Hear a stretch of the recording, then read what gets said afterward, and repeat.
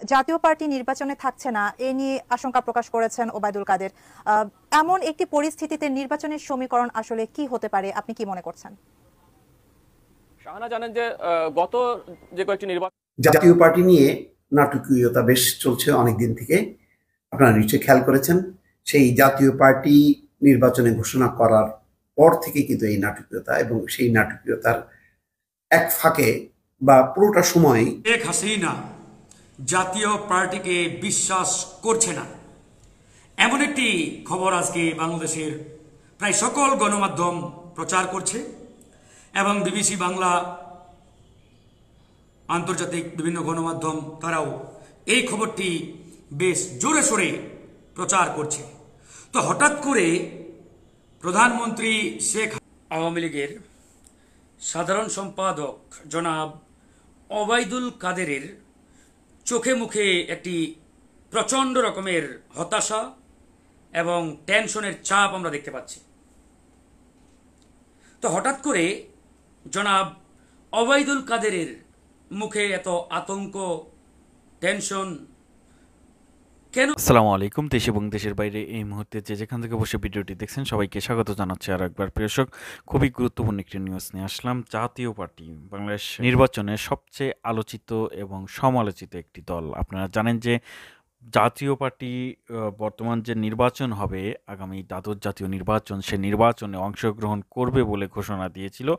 এবং তারাই কিন্তু বাংলাদেশের প্রথম এখন প্রধান বিরোধী দল জাতীয় পার্টি। এই জাতীয় পার্টিকে নিয়ে আবারও চলছে আলোচনা, সমালোচনা। আজকে যে নিউজটি এসেছে, আওয়ামী লীগের সাধারণ সম্পাদক ওবায়দুল কাদের, তিনি বলেছেন যে জাতীয় পার্টির নির্বাচন থেকে সরে যাওয়ার সম্ভাবনাটা অনেক বেশি। প্রিয়সক এরই মধ্যেই কিন্তু জাতীয় পার্টির মধ্যে দুই ভাগে ভাগ হয়ে গেছে। রওশনের সাথে এবং জি এম কাদেরের মধ্যে। এই যে বিষয়টি আপনারা হয়তো অনেকেই জানেন।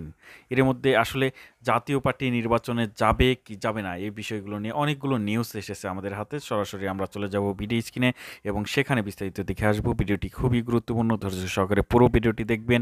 ভিডিওর শেষে গুরুত্বপূর্ণ আলোচনা করব। নির্বাচন থেকে জাতীয় পার্টির সরে যাওয়ার আশঙ্কা রয়েছে বলে জানিয়েছেন আওয়ামী লীগ সাধারণ সম্পাদক ওবায়দুল কাদের। এ ব্যাপারে আরও বিস্তারিত জানাতে নিউজরুম থেকে সরাসরি যোগ দিচ্ছেন সহকর্মী মহসেন কবির। মহসিন, জাতীয় পার্টি নির্বাচনে থাকছে না, এ নিয়ে আশঙ্কা প্রকাশ করেছেন ওবায়দুল কাদের। এমন একটি পরিস্থিতিতে নির্বাচনের সমীকরণ আসলে কি হতে পারে, আপনি কি মনে করছেন?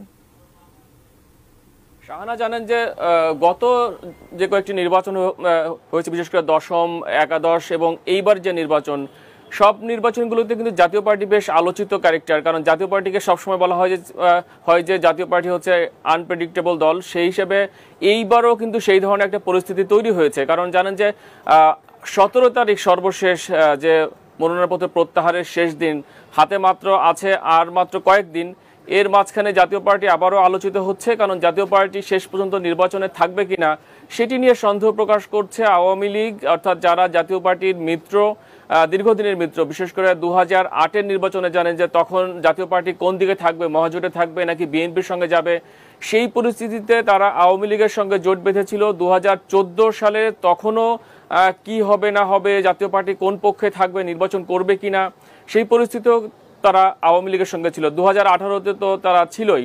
তো তারপরে এতদিনের তারা মিত্র, তারপরেও তারা আনপ্রেডিক্টেবল তাদেরকে বলা হয় সেটি তারা আবারও প্রমাণ করলেন যে এই দ্বাদশ জাতীয় সংসদ নির্বাচনের আগ মুহূর্তে তারা শেষ পর্যন্ত শেষ পর্যন্ত নির্বাচনে থাকবেন কিনা সেটি খোদ আওয়ামী লীগের পক্ষ থেকে সন্দেহ প্রকাশ করা হচ্ছে।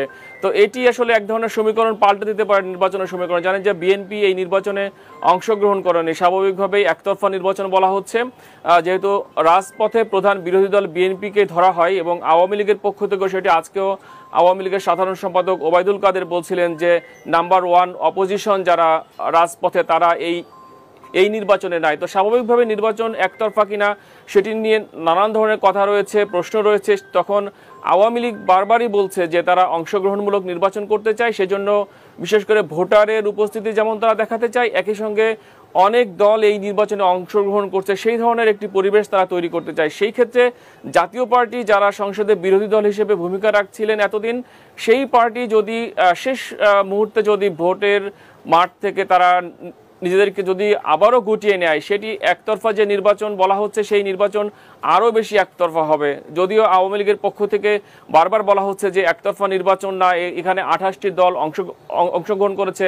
কিন্তু আসলে মানে মোটা দাগে যে বিএনপির বাইরে এখনও পর্যন্ত জাতীয় পার্টি কিছুটা বলা যায় যে তারা একটু বড় দল কিংবা সংসদে বিরোধী দলের যে ভূমিকা সেটি পালন করছে, তাদের সরে যাওয়া আসলে সমীকরণ পাল্টে দেবে। তো সেজন্য আওয়ামী লীগের পক্ষ থেকে আজকে দলটির সাধারণ সম্পাদক ওবায়দুল কাদের সন্দেহ প্রকাশ করেছেন যে শেষ পর্যন্ত আসলে জাতীয় পার্টি কি করবে, এখনও চূড়ান্তভাবে তারা বলতে পারছেন না, তবে তাদের মধ্যে সন্দেহ। তিনি সরাসরি বলেননি। তিনি বলেছেন যে জনগণের মধ্যে, আওয়ামী লীগ নেতাকর্মীদের মধ্যে এক ধরনের শঙ্কা রয়েছে যে শেষ শেষ পর্যন্ত জাতীয় পার্টি নির্বাচনে থাকবে কিনা। জানেন যে দুপুরে জাতীয় পার্টির যিনি কো চেয়ারম্যান ছিলেন রওশন এরশাদ, যিনি বিরোধী দলীয় নেতা তিনি প্রধানমন্ত্রী শেখ হাসিনার সঙ্গে দেখা করেছেন। দেখা করে সেখানে জাতীয় পার্টির যে অভ্যন্তরীণ যে দ্বন্দ্ব কিংবা কলহ, সেই বিষয়ে কিন্তু তিনি কথা বলেছেন প্রধানমন্ত্রীর সঙ্গে। অর্থাৎ জাতীয় পার্টি সম্পর্কে প্রধানমন্ত্রীর এক ধরনের হস্তক্ষেপ তিনি কিন্তু চেয়েছেন যে যেন জাতীয় পার্টির সঙ্গে আওয়ামী লীগ যেন আসন ভাগাভাগি না করে, সেই ধরনের।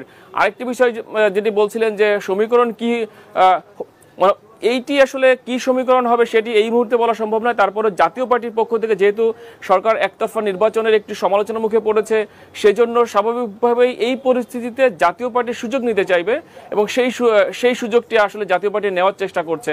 অনেকেই ধারণা করছেন যে এই যে যে তারা শেষ পর্যন্ত নির্বাচনে থাকবেন কিনা কিংবা নির্বাচনে অংশগ্রহণ করছেন কিনা এই যে এক ধরনের টানাটানি কিংবা দর কষাকষি এর পেছনে রয়েছে জাতীয় পার্টির যারা সংসদ সদস্য ছিলেন, তারা জেতার নিশ্চয়তা চান সরকারের কাছে। বিশেষ করে তারা কেউ কেউ বলছেন যে তারা সত্তরটি আসন চান।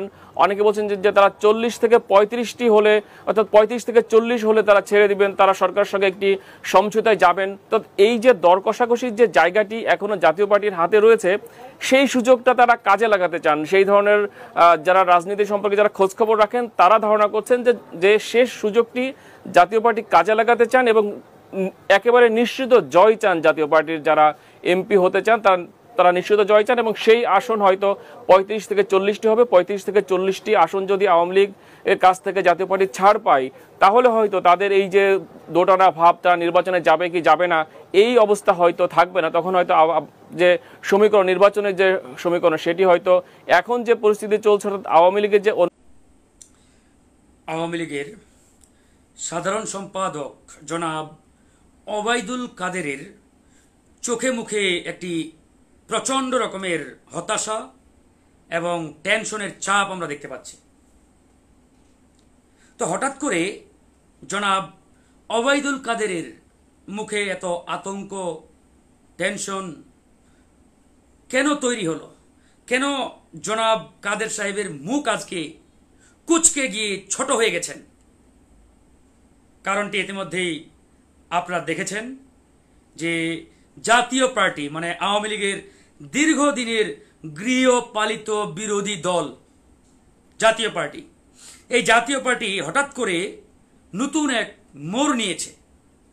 মানে তারা নির্বাচনে অংশগ্রহণ করবেন কিনা, সে বিষয়ে একটি আওয়ামী লীগের ভিতরে বড় ধরনের ধোঁয়াশা তৈরি হয়েছে, ধোঁয়াশার সৃষ্টি হয়েছে। সেই ধোঁয়াশায় সবচাইতে বড় ঘিটা ঢেলেছেন বর্তমান আওয়ামী লীগের প্রধান শেখ হাসিনা নিজেই। তিনি নিজেই বলেছেন যে তিনি জাতীয় পার্টিকে বিশ্বাস করতে পারছেন না। জাতীয় পার্টির প্রতি তার বিশ্বাস নেই। এবং এই খবর বাংলাদেশের প্রায় সকল গণমাধ্যম ছাপিয়েছে, হেডলাইন দিয়েছে।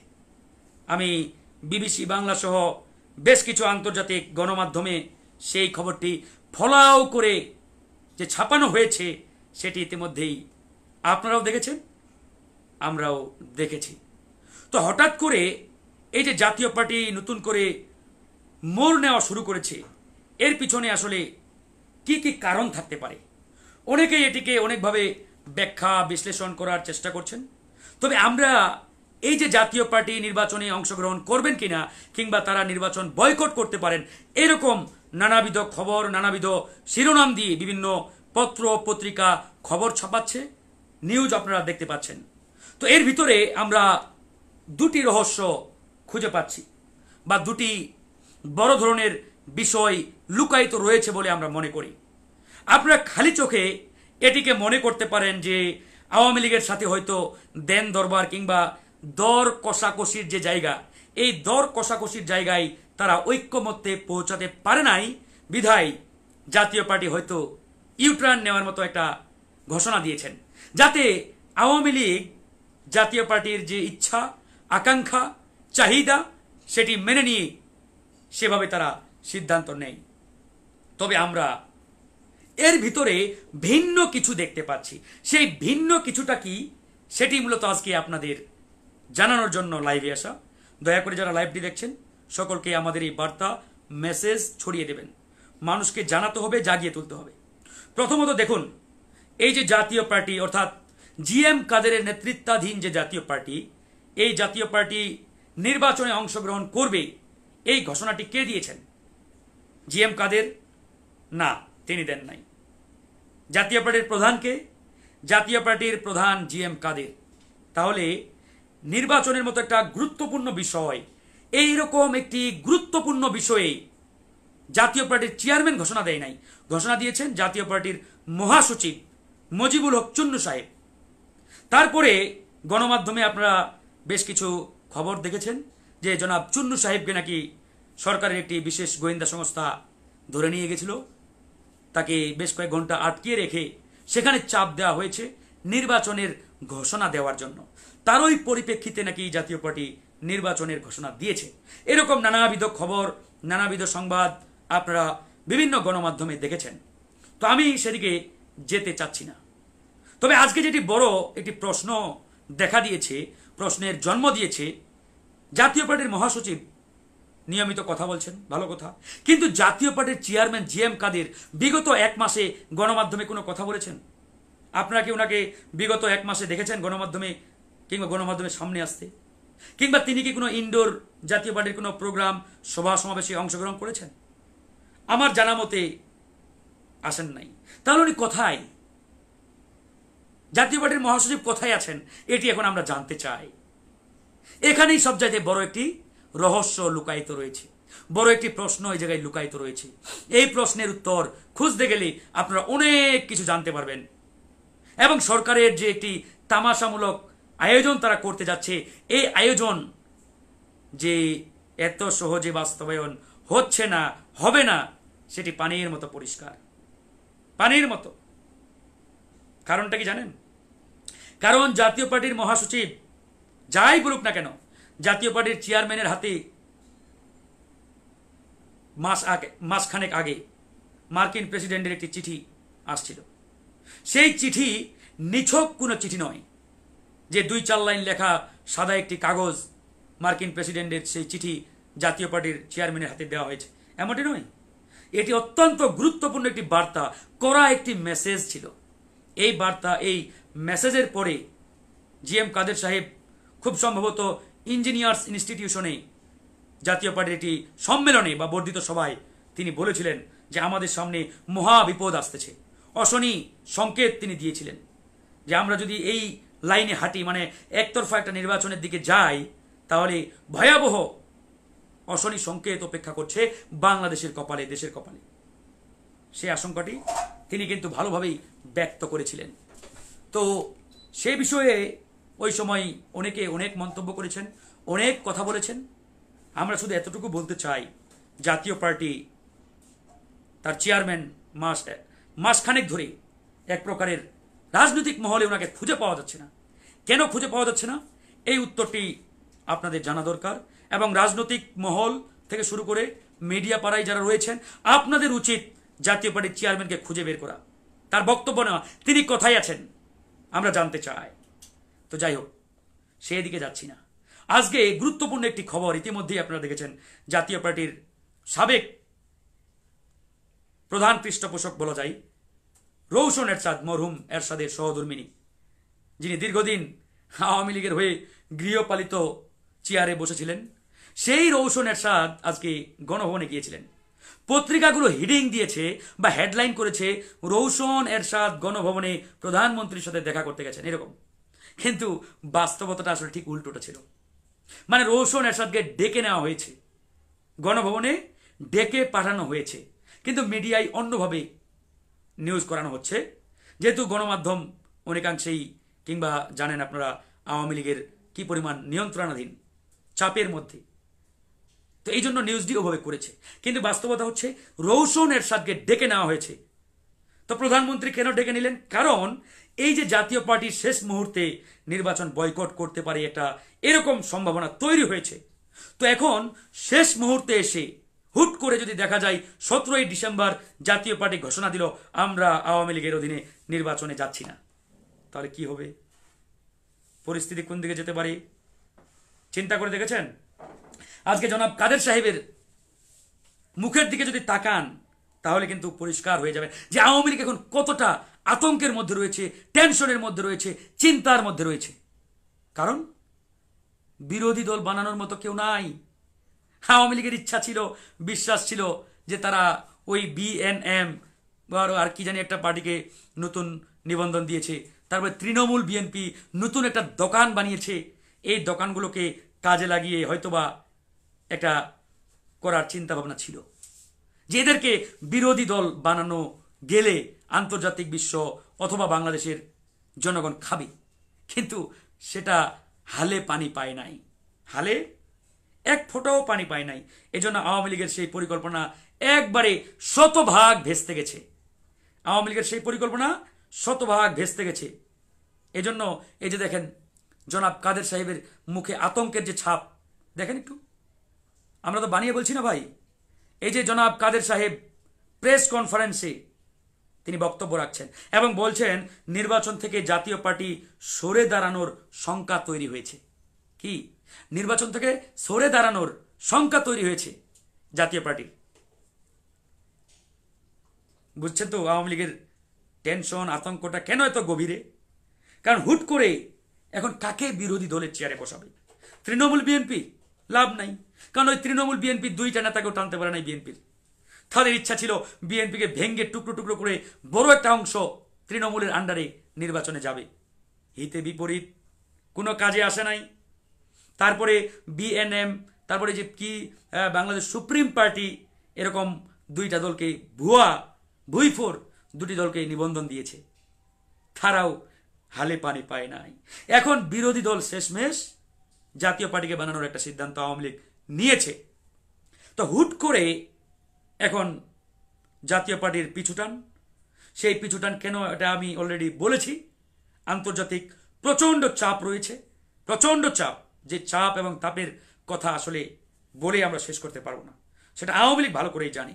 এ পরিমাণ চাপ এবং তাপের পরিপ্রেক্ষিতে জাতীয় পার্টি যদি আওয়ামী লীগকে আরেকবার বৈধতা দেওয়ার জন্য এরকম একটা পাতানো নির্বাচনে অংশগ্রহণ করে, তাহলে জাতীয় পার্টির অবস্থা আন্তর্জাতিকভাবে কোন জায়গায় যাবে সেটা আপনারা সকলেই অবগত।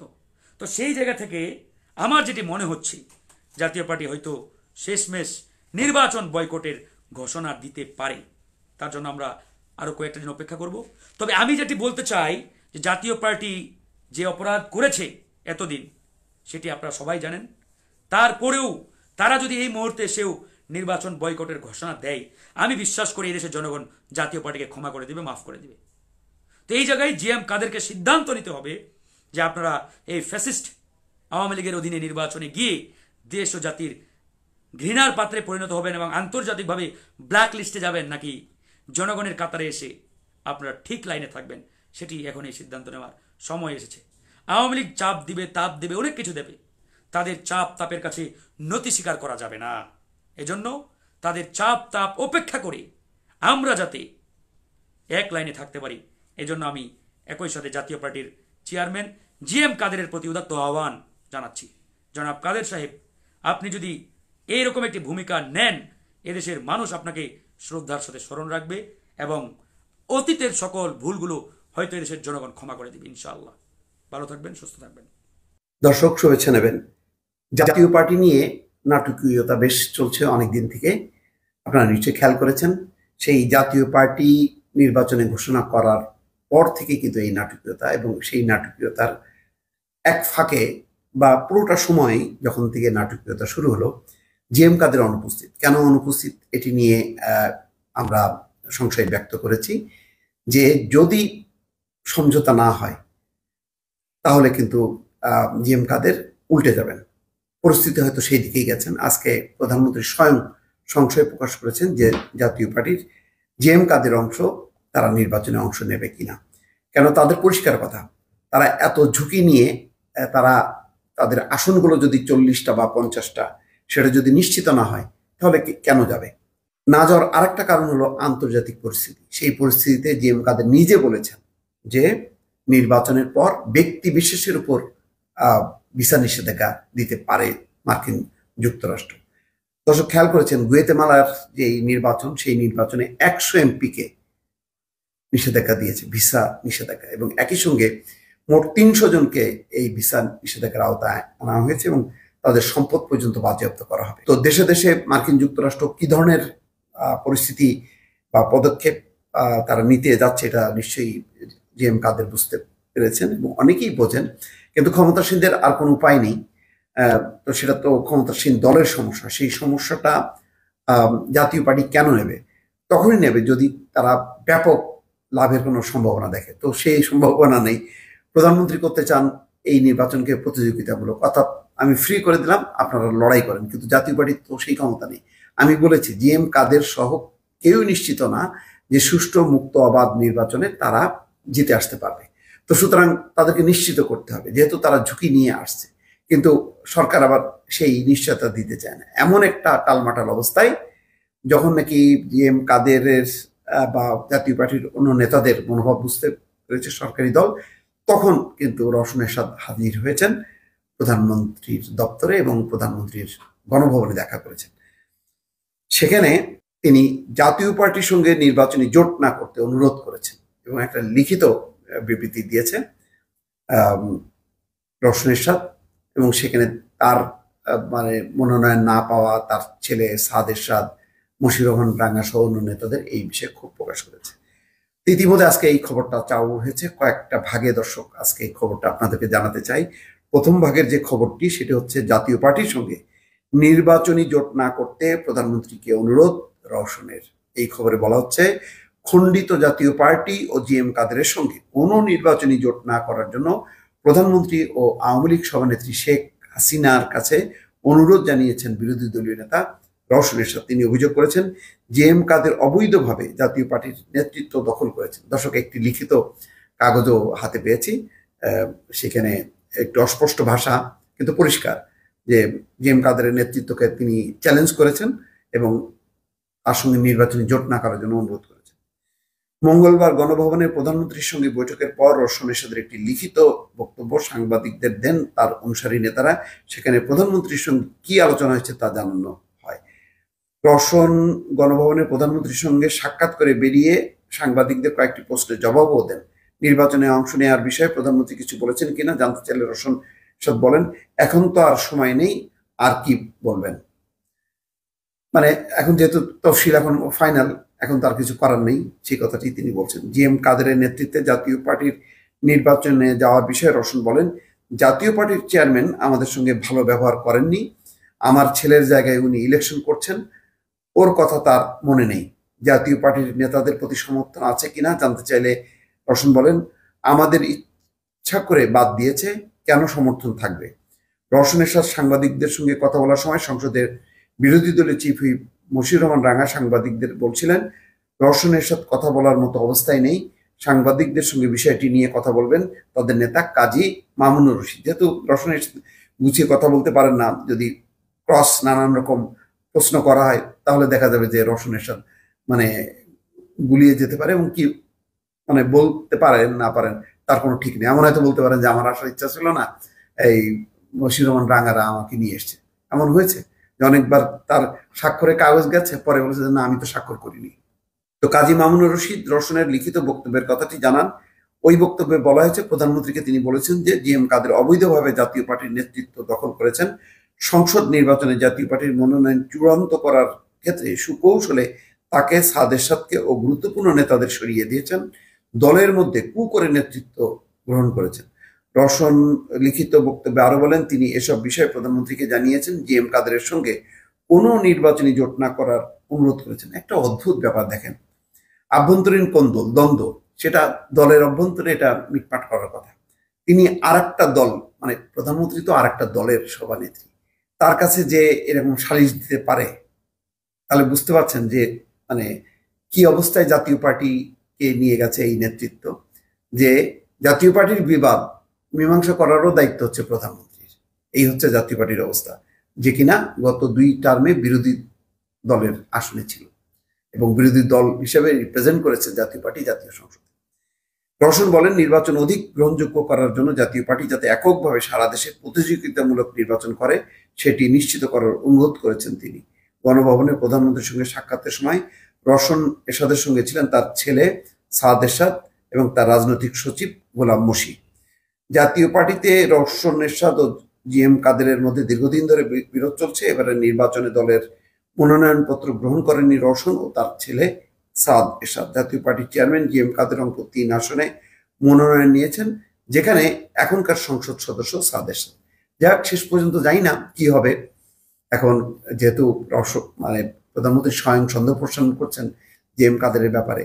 পরে আবার এইটা একটা পাল্টা চাপ হবে কিনা, পরে দেখা গেল যে দুই পক্ষই আবার প্রধানমন্ত্রীর দপ্তরে যে আপোষ মীমাংসায় বসে কিনা, রাজনীতির অনেক খেলা চলবে এবং জাতীয় পার্টি তো নাটকের উপরে নাটক। এই নাটকের কখনো শেষ হবে না, আগেও যেমন কখনো শেষ হয়নি। দর্শক, ভালো থাকবেন, আল্লাহ হাফেজ।